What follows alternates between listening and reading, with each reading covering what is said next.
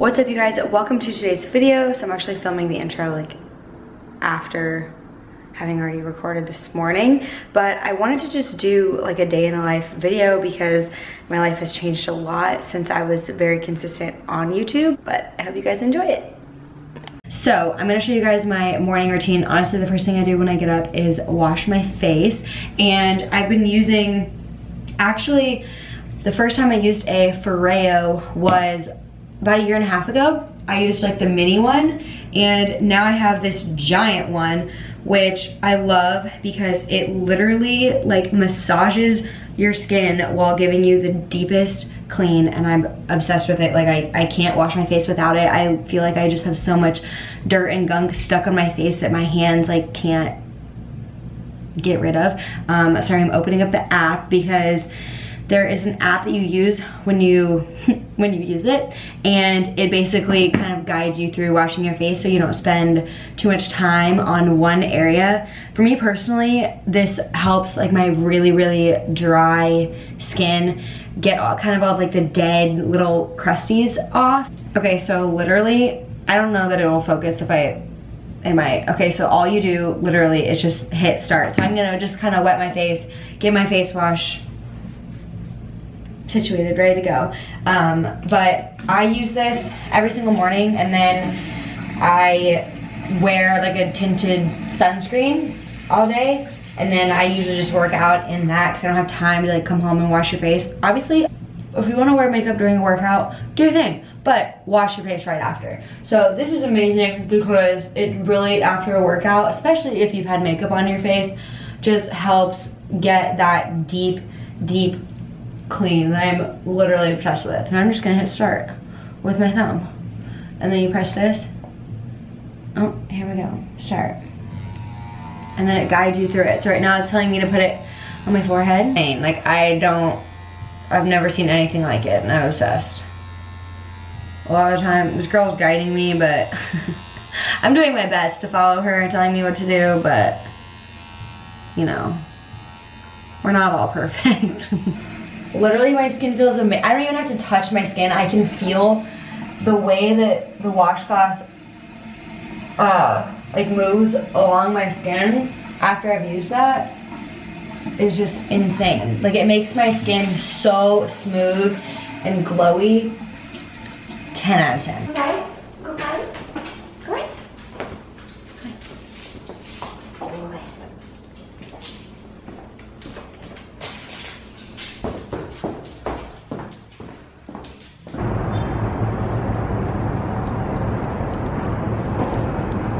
Mean, this view, like, honestly, within walking distance from where I live, yeah, into it.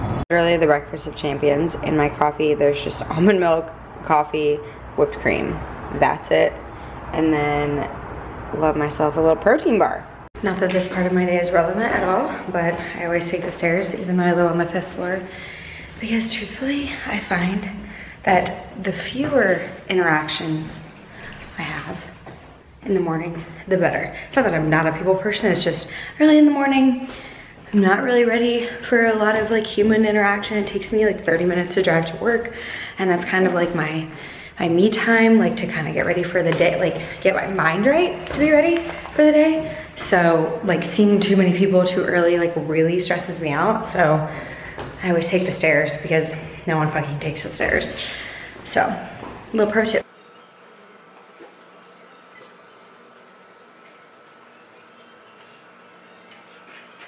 Okay, so I just popped into I Love Juice Bar. Got myself a little pad thai noodle bowl and a beet smoothie. So that's my lunch.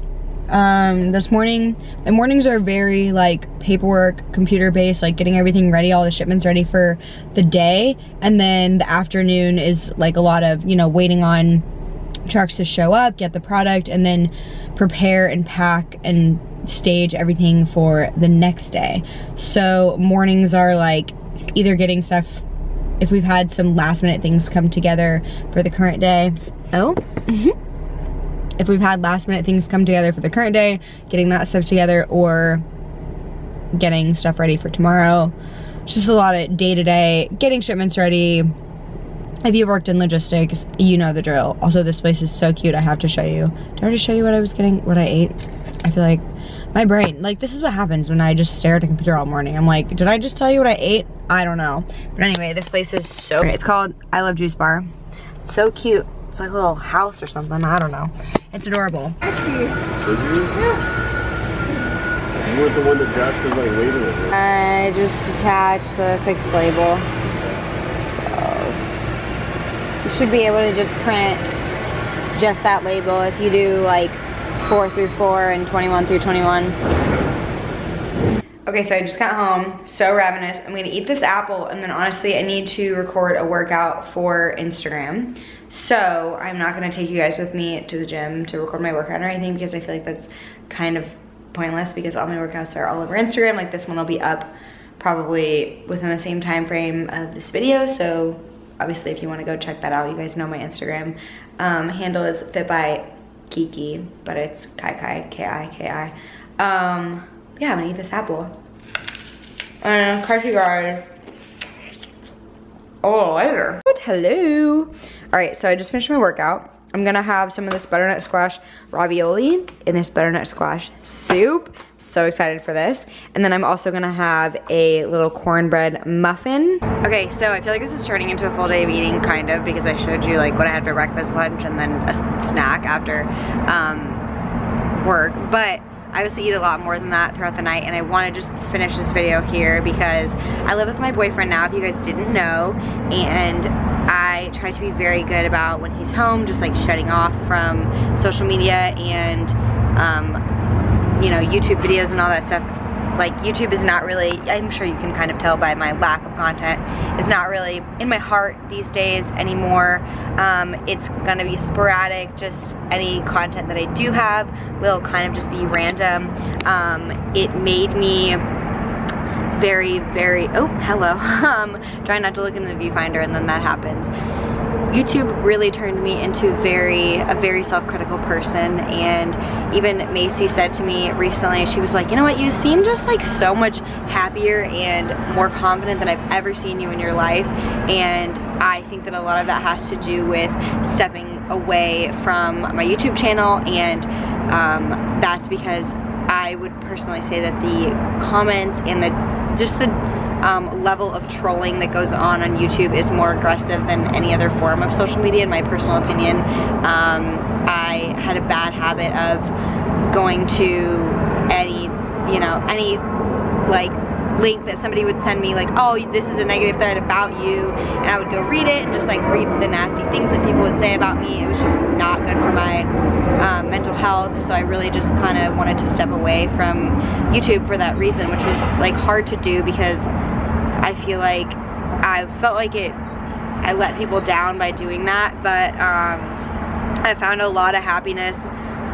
in the last year of my life and I think a lot of that has just been due to being more present in my actual life than the one that I put on the internet which is like a big duh thing that I'm sure a lot of you are like well of course that would be the case. Um, there are a lot of it, it's not I don't think it's that uncommon that a lot of people who do YouTube full-time or social media full-time are really actually kind of depressed because their life is without structure and it's just talking to a camera all day and then reading negative comments about themselves and it's just like this vicious cycle and I think I finally just realized that I didn't want that for myself. Um, I'm okay as like doing it for a hobby but what I really don't want is for my income to solely rely on people saying positive or negative things about me, whether they like or don't like me this week.